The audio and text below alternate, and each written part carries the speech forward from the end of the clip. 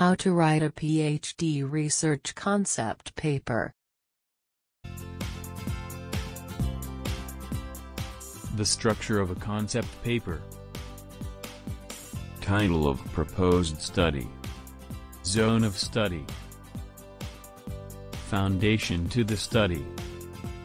What have you perused that has affected your considering the subject? Proclamation of the problem. What is the hole in knowledge? For what reason does this exploration should be led? Targets of the study, what does the examination plan to accomplish? Questions as well as hypotheses. Writing review, what writing do you mean to audit and why? Hypothetical framework, what theory will you use in examining your material? Proposed research design, methods or procedures, this answer the inquiry, by what means will you direct the examination? Idea for the checklist. Your proposed research ought to be of incredible enthusiasm to you.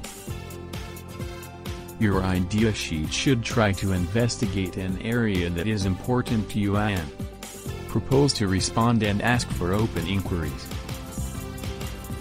Your inquiries ought to be unmistakable. Your inquiries should be liable through research. You should state in any event one speculation, inquire about or measurable.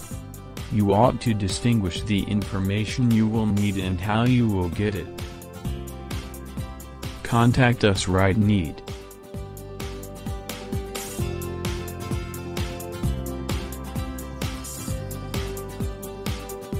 For more information, subscribe us.